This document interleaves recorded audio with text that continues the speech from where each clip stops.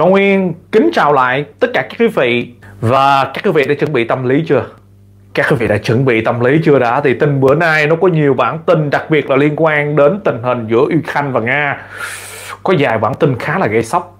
Ngày hôm nay các quý vị cũng biết là sáng ngày hôm nay Nguyên đọc báo đó thì ờ, Nguyên đã nhận được cái bản tin khá sớm. Phía bên Nga họ công bố rằng là Ukraine đã tấn công tổng cộng là hai chục cái quả tiễn.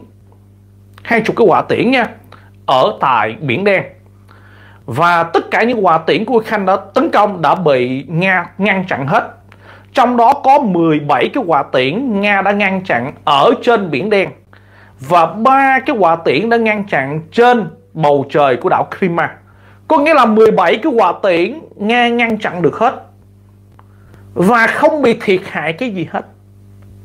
Nguyên nhận rất là sớm cái bản tin này thì các quý vị cũng biết là Nguyên bao giờ có tin đâu.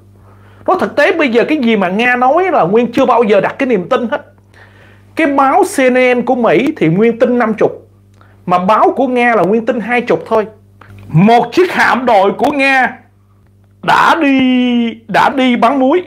À, Nga thì nó ôi ôi không bị thiệt hại gì hết. Trời ơi ngăn chặn thành công hết Trời ơi.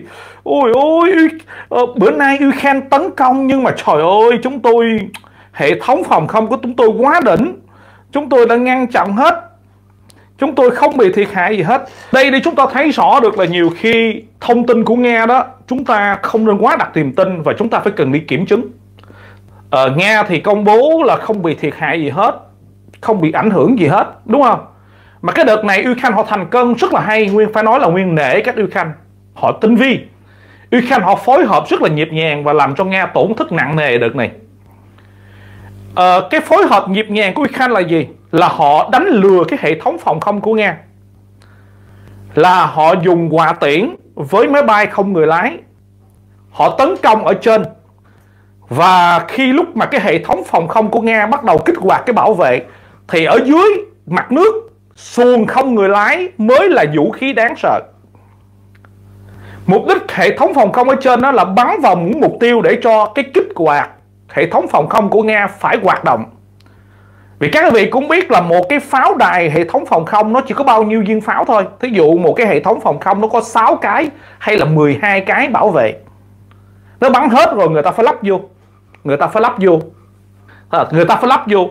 Khi lúc mà cái hệ thống phòng không mà nó hết đạn rồi người ta phải lắp vô cái thời gian lắp vô là cái thời gian sẽ bị tấn công chí mạng. Thì đây là một cái phối hợp rất là nhịp nhàng khi lúc đó cái hệ thống phòng không của Nga phải bảo vệ quả tiễn với máy bay không người lái của Ukraine tấn công. Thì xuồng không người lái đã lao vào trong ngay lập tức. Ui rồi ôi, Nguyên không biết là cái báo cáo cụ thể cái sự thiệt hại của Nga nó lớn như thế nào. Nhưng mà nó có nhiều hình ảnh lắm. Nhiều video, nhiều hình ảnh lắm. Te tua ở tại biển đen của Nga bữa nay. Và chúng ta đã thấy được là Nga vô cùng yếu kém ở trên bờ biển. Ở trên đất liền thì Nga đang chiếm ưu thế, nhưng trên bờ biển đen Nga hoàn toàn không quản lý được bờ biển nữa. Nga không quản lý được bờ biển nữa. tè tua các thứ vậy. À, trong nguyên nhắc nha, Nga đã ban lệnh cấm và Nga cấm tất cả tàu bè vận chuyển trên ở cái khu vực mình kêu là biển đen. Nhưng cuối cùng Nga không làm được cái gì hết. Ukraine vẫn bán ngũ cốc được Nga không quản lý được Biển Đen nữa. Hoàn, hoàn toàn không dám có một sự ảnh hưởng nào gần Ukraine hết. Và tất cả tàu bè của Nga trong thời gian gần đây cứ mà thiệt hại nặng nề liên tục và liên tục như thế này. Thì ờ, nhưng mà Nga thì không thừa nhận. Không có bị gì hết. Không bị gì luôn. Nó cái xuồng không người lái công nhận nó lợi hại thiệt nếu một mình chiếc xuồng không người lái không á, thì cái hệ thống phòng không bảo vệ nó có thể bảo vệ được. Nhưng mà nếu mà nó phối hợp với máy bay, với quà tiễn, thì thế nào cũng đạt được mục tiêu. Vì lúc mà cái kích hoạt á, thì lúc nào nó bảo vệ bầu trời trước cái hệ thống phòng không mà, lúc nào nó cũng kích hoạt để bảo vệ bầu trời trước hết. Và lúc đó kẻ địch, lúc nào cũng nhìn lên bầu trời hết, không ai để ý ở dưới nữa. Mà lúc đó cái xuồng không người lái nó mới nguy hiểm nó mới lướt nó qua đấy được. Và cái hệ thống radar biết đi nữa nó cũng không cách nào ứng phó kịp. Ma bốn cái một lúc.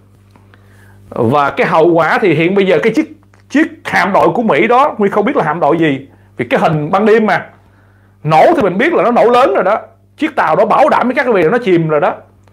À, cái chiếc tàu đó bảo đảm là nó chìm rồi đó. Bao nhiêu binh sĩ thiệt mạng thì cũng không rõ. Tàu thì đã chìm chắc rồi đó. Và tàu gì thì cũng chưa rõ. Mà cái tàu cũng lớn lắm cuộc trục hạm của Mỹ cũng lớn lắm. Xin lỗi của Nga cũng lớn lắm. Chưa rõ còn ở tại đảo Crimea thì nó bốc cháy dữ dội. Cũng không biết là thiệt hại cái gì thì mình không có biết. Mình chỉ có được người ta người dân người ta quay từ xa với cái tay phone thôi. Nên là mình cũng không có rõ cho lắm các cái vậy, cũng không rõ cho lắm. Nhưng mà te tua te tua bữa nay đảo Crimea biển đen te tua. Hấp dẫn không? Hấp dẫn không? Lại nhưng mà còn lại tin vui nữa. Buổi họp Liên minh châu Âu ở tại Bruxelles. Vào lúc 1 giờ 55 phút sau chương trình chúng ta một chút xíu 27 quốc gia đã đồng ý viện trợ 50 tỷ cho Ukraine uh, thấy chưa? Nguyên nói kỳ tích sẽ xuất hiện mà. Cuối cùng trong cái buổi họp mà cái buổi họp này tội nghiệp lắm các quý vị. Đang họp, Thì hàng triệu chiếc xe máy cài đang biểu tình ở ngoài. Ở tại đất nước Mỹ, Nó kéo đến thủ đô luôn. Nó kéo đến thủ đô ở tại Bruxelles luôn. Ở tại Bruxelles luôn. Nhưng mà biểu tình ở ngoài là chuyện cứ biểu tình. Nhưng cuối cùng chốt chốt chốt chốt đơn chốt đơn. Hungary phải nhường bộ. Hungary đồng ý rồi. Hungary đã đồng ý rồi, ký rồi ký rồi ký rồi, xong rồi. Chốt rồi chốt rồi. Vấn đề 50 tỷ đã giải quyết xong. Mới vừa nhận cái tin ờ, là vào lúc 1 giờ 55 phút. Đã ký xong, chốt xong. Hungary đã nhượng bộ. Lý do, người ta phải hỏi, tại sao ông Hungary bị nhượng bộ? Bị hăm dọa quýnh các quý vị có biết là trong cái tờ báo nó viết như nguyên vậy nè. Ông Victor Orban đã bị bao vây với phía bên tổng thống Pháp, Olaf Đức, bà Meloni, bà Ursula von der Leyen. Hàng loạt những quốc gia khác đã bao vây siết chặt. Họ dùng cái từ ngữ như vậy nó khá vui. Nguyên cảm giác giống như là họ chuẩn bị đánh hội đồng ổng hay gì đó. Trong cái buổi họp đó, nguyên cảm giác giống như là người ta đứng ra 26 quốc gia, người ta nhìn, Ê, bây giờ mày quyết định sao? chắc là ổng đã bị cái sự áp lực quá lớn. Ấy tôi đồng ý rồi anh chị em đừng có làm đừng chúng ta quân tử đụng dùng miệng không dùng tay. Đó. Người ta kêu là ổng bị sự bao vây của pháp đức italy. Và cuối cùng ổng đã nhượng bộ nhượng bộ. Uh, cái quyết định là đồng ý gửi tiền. Ua được các vị cô chú anh chị em vui ông vui vui. À, ông còn vui nữa là trong cái buổi họp đó ông bảo vệ tôi đồng ý với mấy cái người à, nông nhân ở tại châu Âu biểu tình là đúng tôi ủng hộ. Rồi biểu tình ở ngoài biểu tình rầm rộ. Ở ngoài cái quốc hội liên minh châu Âu á người ta biểu tình rầm rộ. À, còn ở trong thì đang họp.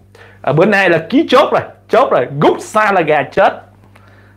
Bác Hungary tổng thống Hungary không có thể sửa được nữa thì tin vui mà Nguyên đã nói rồi tháng 2 có nhiều tin vui lắm. À, mà không biết chừng nào gửi thôi ký rồi chắc là vài ngày nữa thì sẽ gửi tiền thôi. Gửi cái gói trợ cấp đầu tiên Nguyên nghĩ là 17 tỷ theo lời phát biểu của ông ông Sam Michel à, cố vấn của Liên minh châu Âu. Thì à, có nghĩa là cuối cùng cũng đã giải quyết cái khó khăn cái khó khăn mà trong thời gian vừa qua nó đang bị đóng ì đó, thì tổng thống Zelensky ca ngợi cái sự quyết định. Lúc mà nhận cái bản tin đó ngay lập tức, thì tổng thống Zelensky lên đài liền. Mình nhận tin là mà bên Ukraine họ phải phản hồi liền. Ờ, phản hồi cách đây vài phút vài phút, tổng thống Zelensky lên phản hồi cách đây vài phút. Lên phản hồi liền, được nhận tin thì ai cũng vậy, các vị mình săn tin là gì mà? Có tin vừa ra là Nguyên chia sẻ chắc vị liền. Thì Ông Tổng thống Zelensky, ông nói thấy chưa? Đây là cuộc chiến thắng chung của 27 quốc gia. Và sự chứng thực cho chúng ta biết Cái sự đoàn kết là sức mạnh. Và đây là sự thất bại của Putin. Khi Putin đã dùng đủ các biện pháp Và những lời bôi nhọ của Putin Là Ukraine đã bị buông bỏ. Nhưng không, sự đoàn kết đã chứng thật và cảm ơn 27 quốc gia đã yểm trợ cho Ukraine. Thì Tổng thống Zelensky, ông ta ngay lập tức, sau cái bản tin nó được loan ra vào lúc gần 2 giờ 1 giờ 55 gì đó.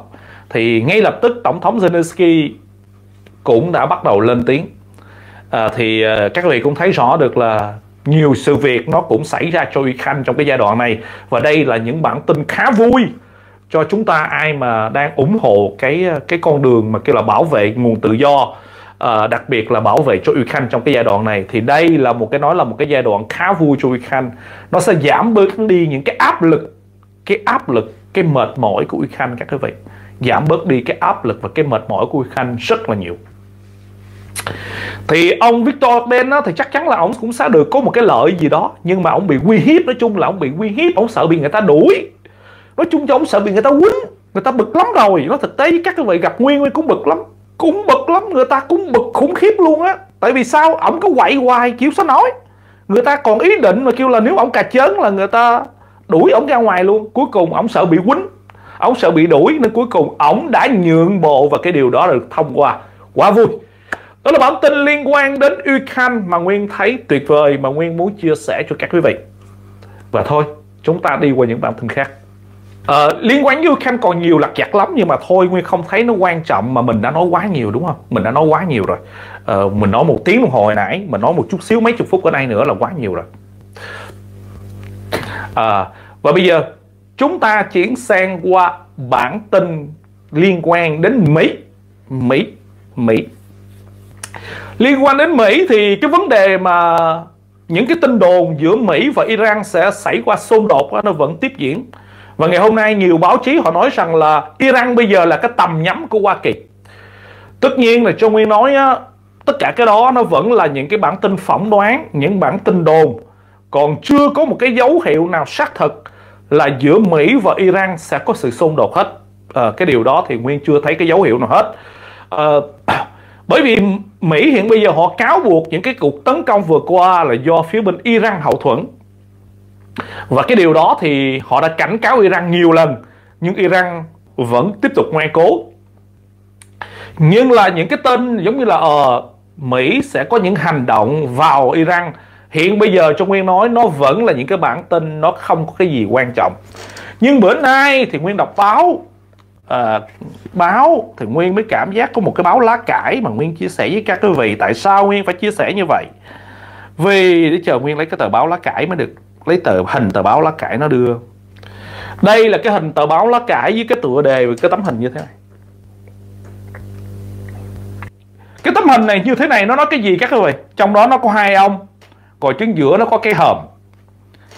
Nó đưa ra một cái giả thuyết rằng lỡ hai ông này, hai ông này dọc đường ngẫm củ tỏi thì sao? Trong cái giai đoạn mà chạy đua lên tòa bạch ốc đó thì hai ông này dọc đường ngẫm củ tỏi thì sao? Nó lạ không? Nó đưa ra một cái giả thuyết như vậy. Thì uh, nó giải thích không biết là đơn giản nó bảo bây giờ hai ông đều lớn hết rồi. Một ông thì 80 một ông thì bảy mấy 78 và cái tuổi này thì uh, nó dễ uh, chở gió chở chiều nó cũng dễ đi. Đó. Thì nếu mà đi rồi thì cái tình hình đất nước Mỹ nó sẽ là như thế nào?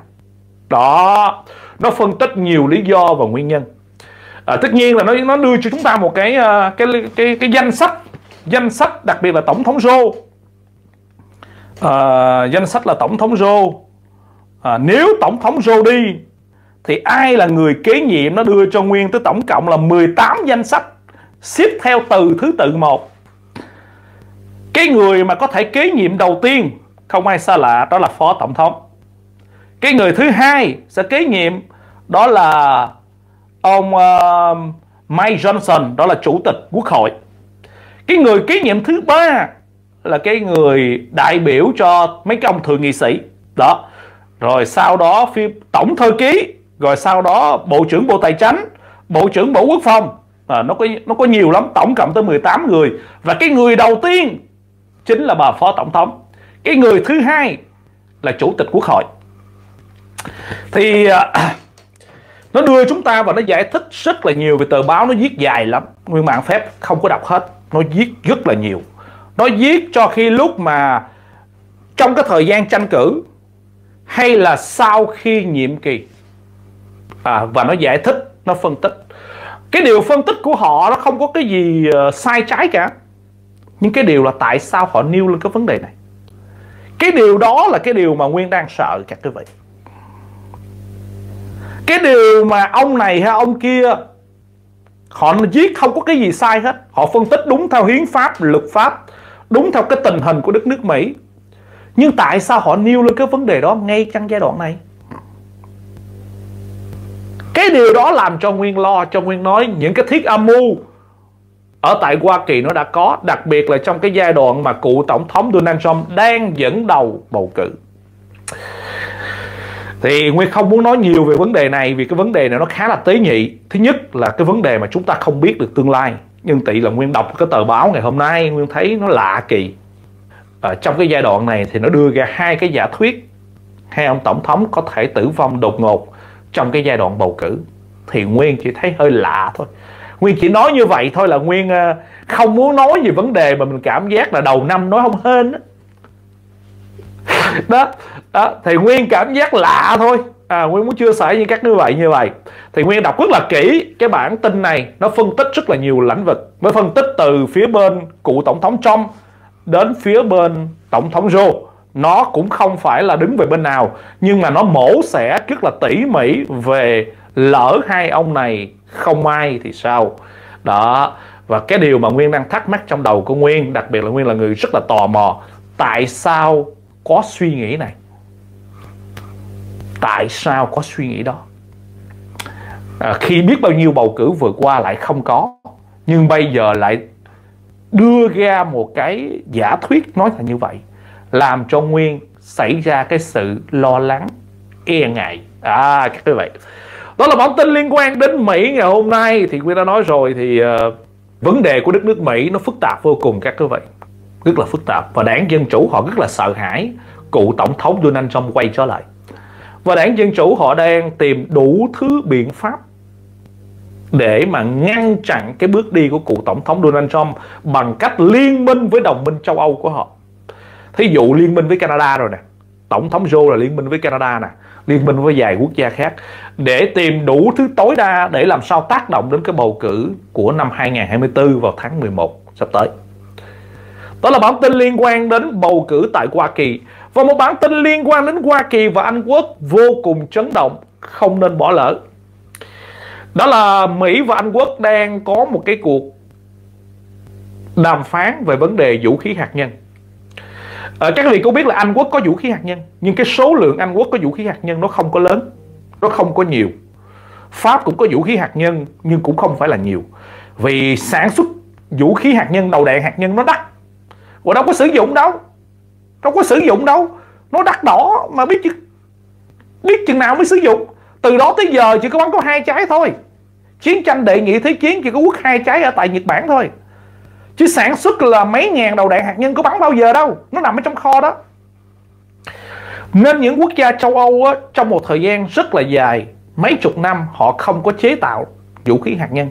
Và bây giờ chế tạo nó cũng phải mất khá là nhiều thời gian và đặc biệt là Anh Quốc đang ở trong bị cái ờ, cái tầm bị đe dọa và cái đầu đạn hạt nhân của Anh Quốc nó không có nhiều lắm nên là trong cái bối cảnh thì Mỹ định điều động điều động vũ khí hạt nhân của Hoa Kỳ đến Anh Quốc. Cái bản tin này nó vẫn nằm ở trong cái giai đoạn bàn thảo ở tại Quốc hội của Hoa Kỳ và Quốc hội của phía bên Anh Quốc. Hai bên vẫn chưa đồng ý cái vấn đề này. Trong những ngày kế tiếp thì chúng ta mới biết được là Mỹ và Anh Quốc họ có đồng ý hay không. Trung Nguyên nói Mỹ và Anh Quốc là cực kỳ là thân. Anh em họ, phải nói Mỹ Anh Quốc giống như anh em họ nhiều nhà nhiều nhà chính trị gia của Mỹ họ nói họ đến Anh Quốc cũng giống như họ trở về nhà của họ thôi Nguyên không biết là giữa hai ba hai quốc gia này trong những ngày kế tiếp thì sẽ có điều động vũ khí hạt nhân đến Anh hay không Việt Nam mình thì không có vũ khí hạt nhân. Việt Nam mình có cái vũ khí tương tự như vậy đó là mắm tôm. Nó cũng lai lai như vậy thôi. À, nó lai lai như vậy thôi nhưng mà Việt Nam mình chưa có vũ khí hạt nhân các quý vị à, đừng có lên mà đưa ra là bản tin là Việt Nam có vũ khí hạt nhân không. Ở Việt Nam mình sắp sửa bắn vệ tinh. Sắp sửa có bắn vệ tinh của Việt Nam mình lên không trung thì có Việt Nam sắp sửa bắn vệ tinh thì có. Sắp sửa thôi nghe có bắn thành công hay không thì chưa biết à, còn bắn ở đâu thì cũng chưa rõ nữa nhưng mà sắp sửa bắn vệ tinh. Chứ Việt Nam mình có bấm tôm thôi chứ không có vũ khí hạt nhân các cô chú và anh chị em đừng có loan ra những cái tin đồn. Nó giật gân rồi có đầu mình tưởng thiệt nữa. Chết chết chết. Mấy bác khoái tin đồn lắm. Ở hột vinh lộn thì cũng không sợ cho lắm. Nó nhìn bề ngoài nó hơi ghê ghê nhưng nó không giải tán được đám đông. Nhưng bảo đảm với các quý vị Ukraine phải đi mua vũ khí mắm tôm của Việt Nam có thể đem lại thắng lợi lớn cho đất nước Ukraine thảy vô một cái thủ mắm tôm, lực lượng của Nga nó ối bỏ súng nó bỏ chạy hết. Có thể đem lại thắng lợi, chưa chắc.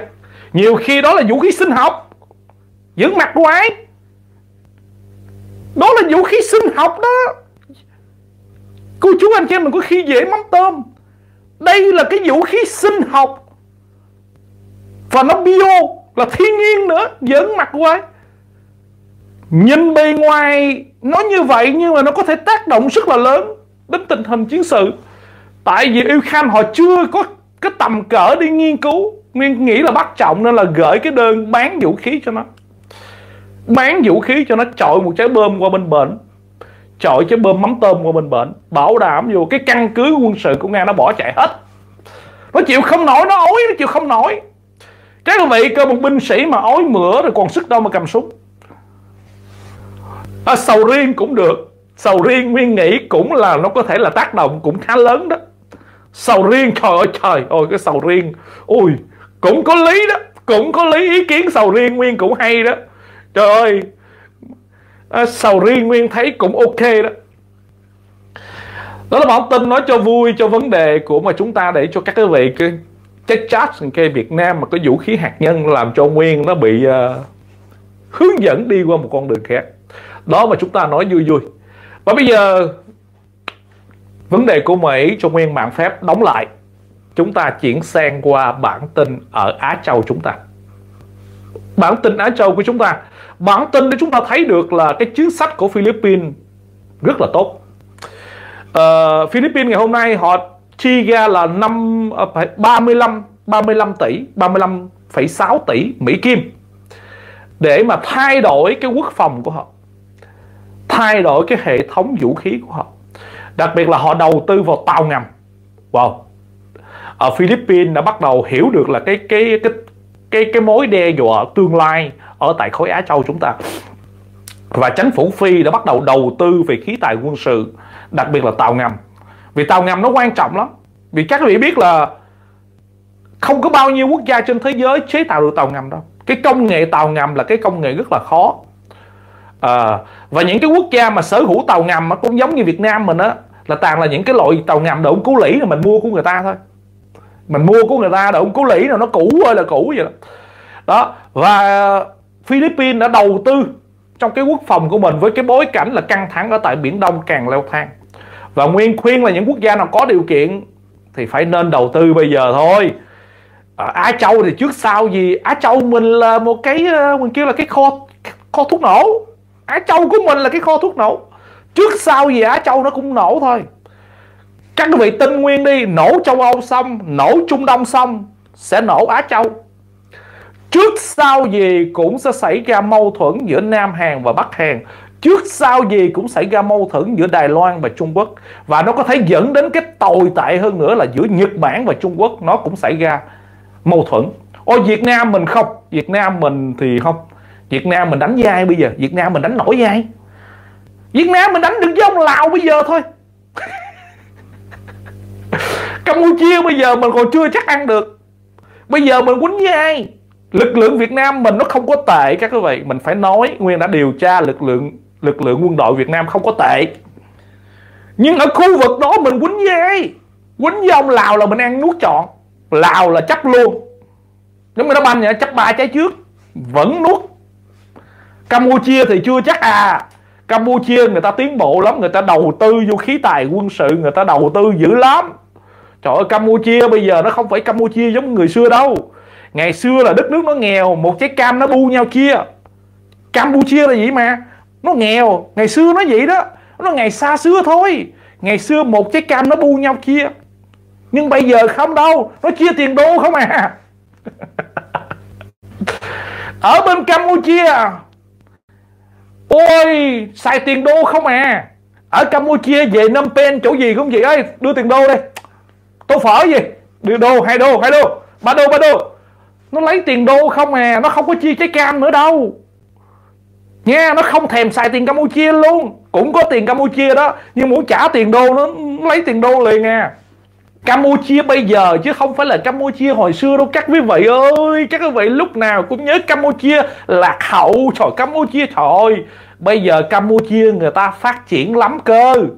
Trời ơi, có thể là vài năm nữa người ta vượt qua Việt Nam.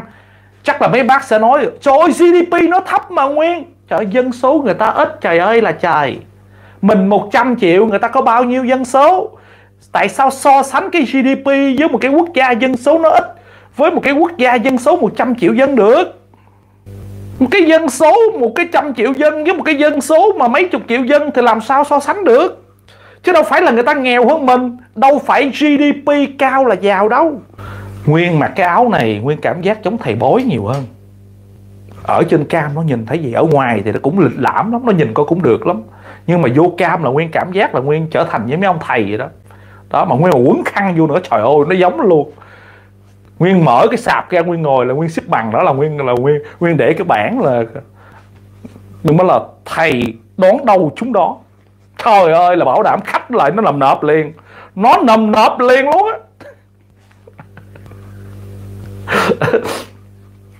Các quý vị phải nhớ là cái hình ảnh trên cam với cái thực tế nó không giống nhau nữa, các quý vị nha nha. À, nguyên là nguyên là nói chắc các vị là như vậy.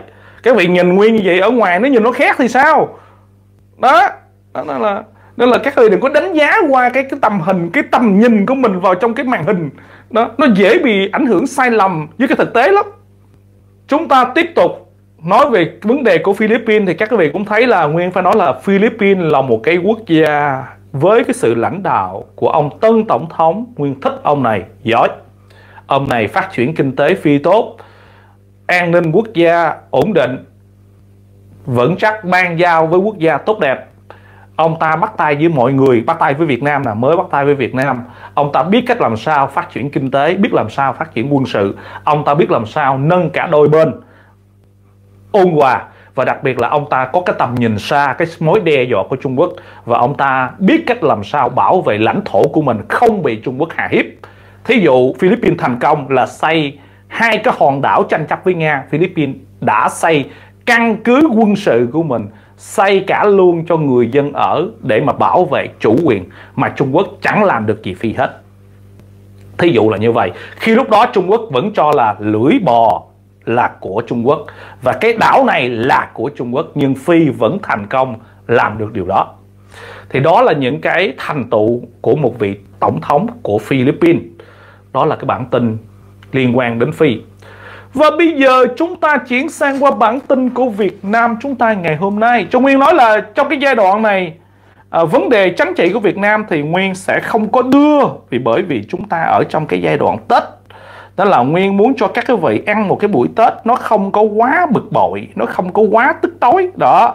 Nên là Nguyên đã chọn cái biện pháp là trong cái dịp Tết thì Nguyên sẽ đưa những bản tin về Việt Nam nó nhẹ nhàng thứ hai nữa là bởi vì mấy ông chánh trị cũng ăn Tết cũng giống như chúng ta mấy ông cũng ăn nhậu nên mấy ông cũng không có gánh à, để đưa ra những cái đạo lực gì quá nhiều nên là cũng không có cái nhiều gì quá mà nó cho chúng ta phải uh, phải xôn xao cả đây là một bản tin cũng khá là lý thú à, mà Nguyên muốn chia sẻ với các quý vị.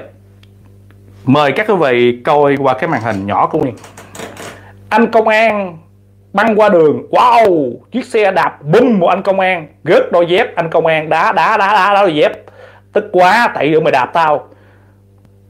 Không ngờ chiếc xe quay trở lại lao vô anh công an. Lao vô anh công an.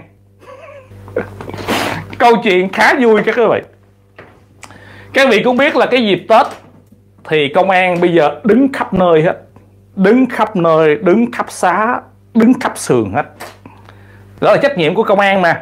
Rồi công an đúp ở đâu đó, rồi đi qua quát quát xe. Thì anh công an này chưa quát ai hết. Ảnh mới đi băng qua đường thôi. Ảnh đi mà công an mà, ảnh đâu có sợ xe đụng. Xe sợ tao chứ tao sợ xe. Ảnh đi băng băng vậy đó. Tự ơn một chiếc xe gắn máy, nó nó tông tốc độ. Nó đi ngang nó nó đạp một cái. Nó giơ cái chân rất là nó đạp một cái. Một anh công an xỉn miễn vào một bên. Thì lúc mà cái, lúc mà đạp đó, thì nó xui một cái là cái chiếc dép nó văng ra bên ngoài. Nó văng qua bên ngoài các quý vị thì mình nghĩ là một cái người đã tấn công công an rồi thì chạy đi luôn đi. Không không no, no, no, tao mất chiếc dép tao quay lại bay. Cái anh này cũng vui lắm. Tao mất chiếc dép mà. Lúc đó mà anh công an đó ông bị đạp ảnh cũng tức lắm nhưng ảnh cũng ngắm đắng nút cay. Ông mới đá cái chiếc dép ảnh đá ba bốn cái chiếc dép vậy đó. Tức mà bị đạp đau quá. Đau mà sao cái bị đau chứ? Đen đi dọc đường tao làm trách nhiệm mà. Đạp một cái đào tức quá mất một chiếc dép đá chiếc dép cao cái đó tao mất một chiếc dép đạp vô. Quay trở lại lũi vô anh công an mày đạp giúp tao hả mày? Rồi bị công an bao vây và người dân bắt. Ồ, mấy cái chuyện mà nguyên nó cũng là có đời nó chúng ngộ thiệt. Sau khi bắt thì bắt đầu mới cho là anh này anh dương tính với ma tí dương tính với ma tí mà cái chuyện nó ngộ không các người đạp vào anh công an, lỡ mình tức quá, công an cỡ này nó phạt mình nhiều tiền quá, mình bực bội quá, đúng không? Thì đạp xong là người ta phải chạy chứ, có một chiếc dép nó có bao nhiêu tiền đâu. Đúng không? Phải bỏ chạy luôn chứ, phải chạy luôn, phải chạy luôn. Nhưng không, quay trở lại, ủi anh công an nói là chiếc dép Nguyên cũng không có hiểu nổi luôn cái câu chuyện thực tế nó như thế nào. Báo chí của Việt Nam video của Việt Nam nó đăng lên thì nó nói anh này á là ảnh đang có ờ, chất kích thích trên người. Mà cái điều nó ngộ là tại sao ảnh không có hành hung ai khác mà ảnh nhắm vào canh công an này và ảnh nhắm tới hai ba lần như vậy. À, cái điều đó là cái điều mà chúng ta không có hiểu được. Mà kêu ảnh ô anh này à, bây giờ nó nó phê rồi nó ngáo đá rồi. Ủa tại sao nó không tấn công ai hết? Mà phải nhắm vào công an. Tại sao kỳ vậy? Rồi nhắm vào công an rồi đạp xong rồi phải đi luôn đi. Mà tại sao phải quay trở lại? Rồi tông vô nữa. Tông vô nữa mà câu chuyện là tông vô xong thì lúc là người ta còn ôm vô quýnh nữa chứ. Tông vô xong rồi xuống vô quýnh nữa. Thì chắc là nguyên nghĩ là phải mấy bác công an là mùa này à, sống làm sao ăn ở làm sao nha ăn ở sao cho nó có đất có phước có đất chút xíu giết người ta giết rồi.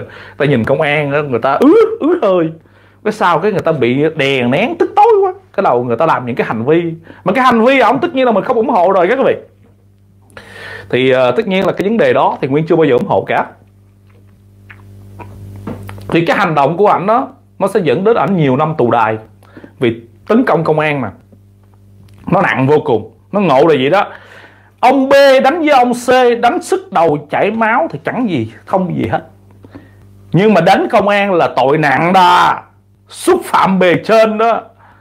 Xúc phạm bề trên đó. Dẫn mặt hoài. Anh này ít nhất là cũng phải là gỡ máy cũ.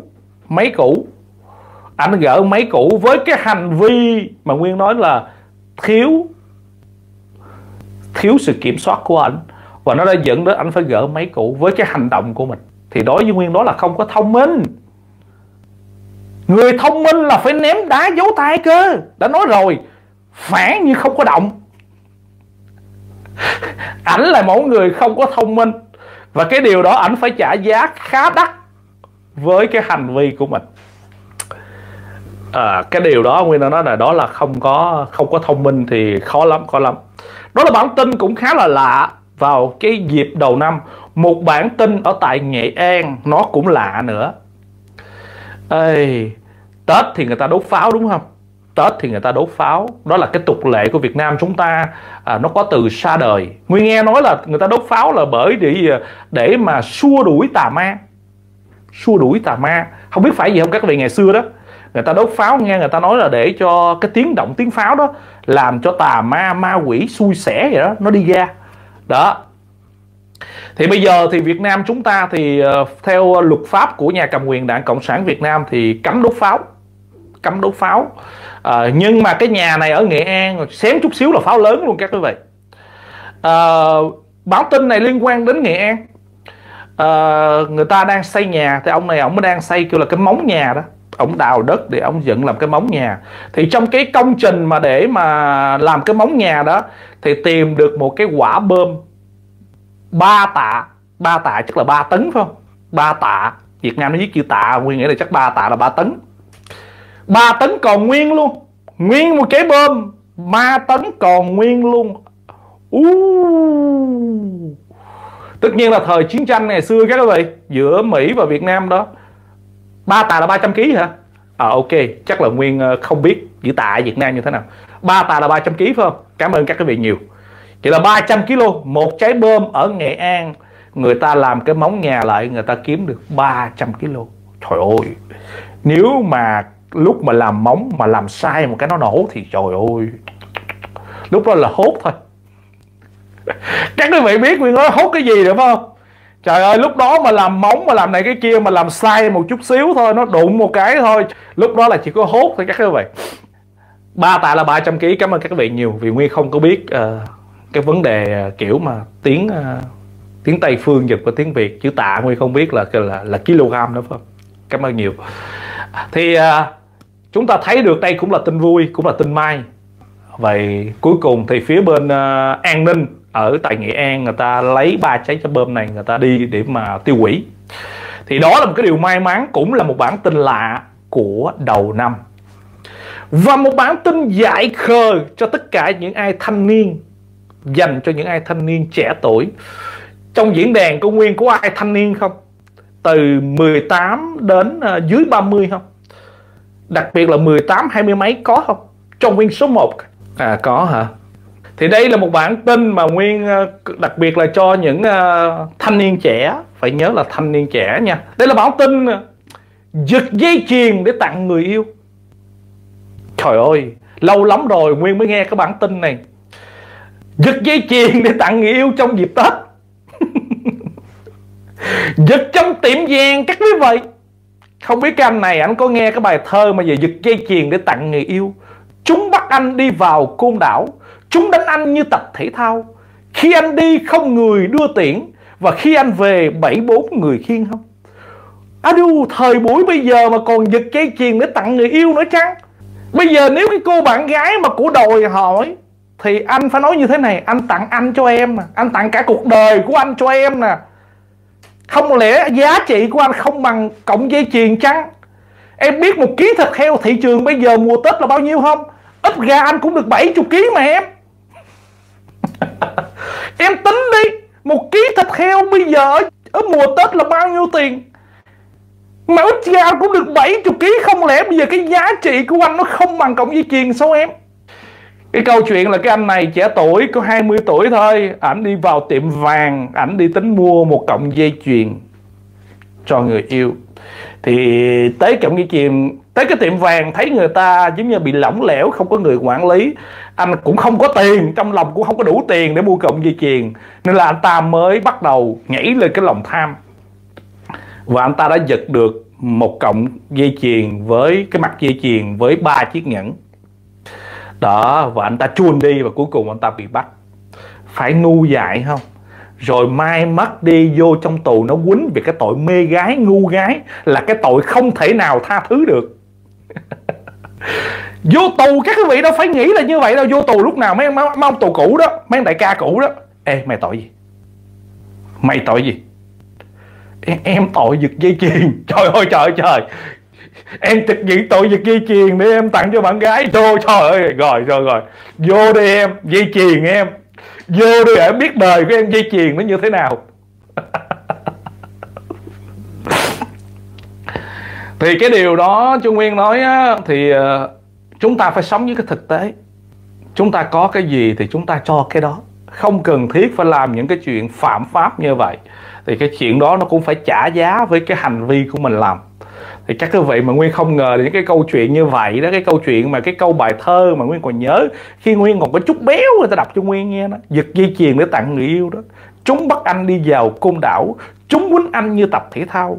À, khi anh đi không người đưa tiễn mà khi anh về bảy bốn người khiêng đó thì bây giờ cũng có người thực thi cái bài thơ đó. Chết thiệt chết thiệt. Bây giờ cũng có người thực thi cái bài thơ đó đó là những cái bản tin mà nguyên thấy ở việt nam nó có cái bầu không khí uh, à, sao ta? Vui vui nhộn nhộn. À chứ nó không có quá lớn về chính trị. Vì thực tế trong cái bối cảnh Tết thì mấy ông chính trị cũng không có làm gì nhiều. Các quý vị mấy bác nhà ta cũng đang nghỉ mệt. Chỉ có một bản tin cuối cùng liên quan đến chính trị nho nhỏ. Đó là phía bên à, phía bên à, công an vẫn tiếp tục điều tra những vụ án tham nhũng. Họ nói dù Tết họ vẫn tiếp tục điều tra. À, à Tết họ vẫn tiếp tục điều tra tham nhũng. Tất nhiên rồi. Tất nhiên phải hốt trước khi ăn Tết chứ. Còn 10 ngày lặng nữa mà. Cũng giống như hốt hụi vậy chứ. Đầu Tết ai cũng hốt hụi hết trơn á. Việt Nam mình ngộ lắm các vậy hốt trước không chịu hốt. Tới gần Tết là ai cũng đòi hốt hụi hết trơn á. E tháng này tôi hốt nha bà còn ai cũng cạnh tranh nhau, bỏ lớn đi, hút hụi ăn Tết hết trước đó một tháng, hai tháng thì không chịu hút đi không? Gần Tết là tranh nhau hút hụi, thì công an cũng vậy. Sao nghĩ được? Phải hút hụi chứ. Còn 10 ngày nữa, tao phải hút vài đợt nữa. Hốt hụi mới đủ tiền sở hữu đi ăn Tết chứ vẫn mặt hoài. Đó nên là công an vẫn làm việc tích cực về vấn đề tham nhũng. Công an công bố là không nghỉ ngơi. Công an rất là hy sinh à, khi lúc đó cả toàn dân thì đang tưng bừng công an thì nỗ lực à, về vấn đề giao thông về vấn đề công an hy sinh quá. Công an tội thương quá đáng thương công an quá công an nỗ lực quá. Khi lúc đó các quý vị được nghỉ các quý vị về quê đúng không? Các quý vị ăn các quý vị nhậu công an phải trực đêm tăng ca công an bây giờ làm một ngày 15 16 cần cỡ 20 tiếng nhiều khi. Có nhiều anh công an không về nhà luôn. Vợ con ba, bốn ngày không thấy không thấy mặt mũi luôn. Thương công an lắm. Công an bây giờ là sốt sáng lắm. Lãnh vực nào cũng sốt sáng hết. Nên là không phải chỉ có lãnh vực giao thông không, để bảo vệ an ninh không. Cả luôn vấn đề tham nhũng. Công an sốt sắng. Nên tội nghiệp cho mấy anh công an ghê luôn. Đó, nên là bây giờ bộ công an phía bên ờ, ông gì tô anh xô đúng rồi bác tô sô ngày hôm nay bác nói công an vẫn phải làm việc tích cực uh, trong cái dịp tết. Không nghỉ ngơi. Ai ăn tết thì ăn tết chứ công an thì không. Tội nghiệp thì công an làm việc quá. Ở các huyện ngộ về đặc biệt là trong cái giai đoạn này công an làm việc tích cực lắm. Sau đó thì không. Sau đó thì giảm lại. Sau cái dịp tết khoảng một tuần sau là giảm lại. Nhưng mà cái trong cái giai đoạn này ai ăn nhậu thì ăn nhậu chứ công an thì làm việc giữ gương mẫu gương mẫu gương mẫu. Đó là bản tin thời sự nóng bỏng của ngày hôm nay mà mong các quý vị có được những cái à, nụ cười, cũng mong các quý vị đã nhận được những bản tin nó có giá trị là những bản tin hot mà Nguyên cố gắng cập nhật tối đa cho các quý vị. Tất nhiên là bản tin của Việt Nam cỡ này thì Nguyên đưa những bản tin xã hội nhẹ nhàng hơn thì Nguyên đã nói rồi. Cho Nguyên xin lỗi là Nguyên muốn cho các quý vị có một cái mùa năm mới không bị áp lực và tạm biệt các quý vị. Chúc các quý vị năm mới dồi dào sức khỏe, an khang thịnh vượng, tiền vô như nước, ước muốn biến thành sự thật. Bye bye, ngày mai chúng ta gặp lại.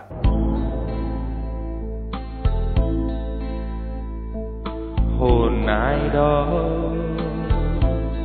chập chờn trên khói sóng dòng máu tươi theo nước chẳng hòa tan. Hồn ai đó. Từ vĩnh hằng bao cõi đạo gành xa còn vọng tiếng kêu than. Hãy về đây trên sóng nước, chung tiếng khóc nghẹn đau cùng dân tộc. Hãy về đây đáy vực. Lịch sử ngàn thu dượn mình trang giấy ghi chép lại phút kinh hoàng vượt biển.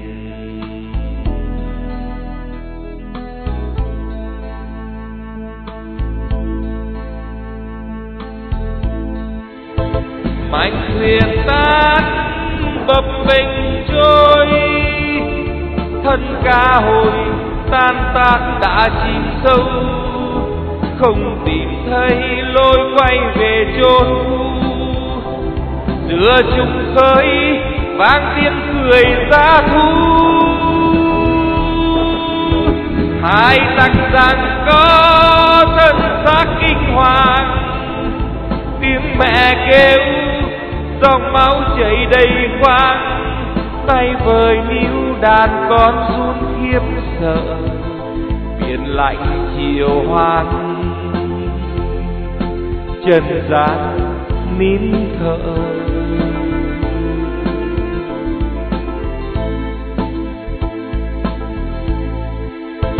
Tiếng kêu trời trước phút giây thì đắm. Biến tan vào giống bão thét trùng dương vực mồ sâu thịt dã máu còn hương. San hô trắng hay là xương ai trắng dòng tóc đen bám kình xa hoang vắng. Thành dòng rêu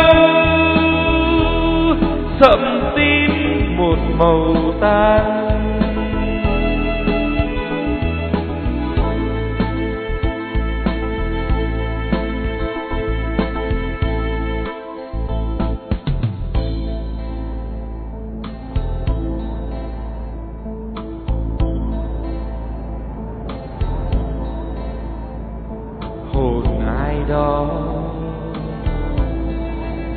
đã lìa xa tổ quốc. Vẫn còn ôm sông núi xuống mồ hoang. Hồn ai đó, đạo hoang sơ ai khấn. Mộ bia tàn, ai thắp nén hương rừng hãy về đây về đây chứng kiến tâm lòng chúng tôi chọn đời tâm nguyện hãy về đây về đây chứng nghiệm, dù có ai pha tan mộ huyệt, chỉ bền gan xin vẹn nghĩa tình.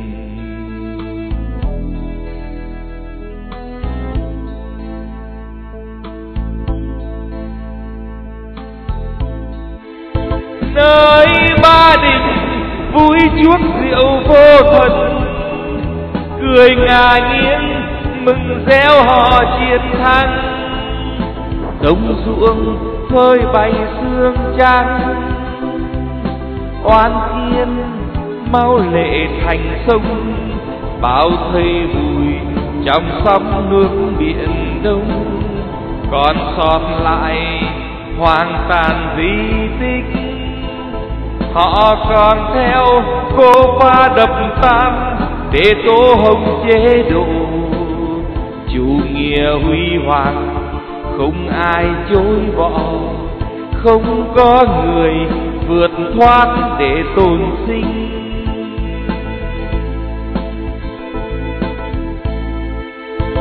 Hồn ai đó phiêu bạt về đâu? Đào xa xôi mộ phân vô tình, giấc ngủ chẳng bình an. Hồn vẫn sống trong lòng dân tộc, hồn mãi còn đây, dù bia mộ hoang vu. Không tên tuổi xa gì tên với tuổi, dù xác thân đã hòa chung cát bụi, biển đông còn hồn mãi sống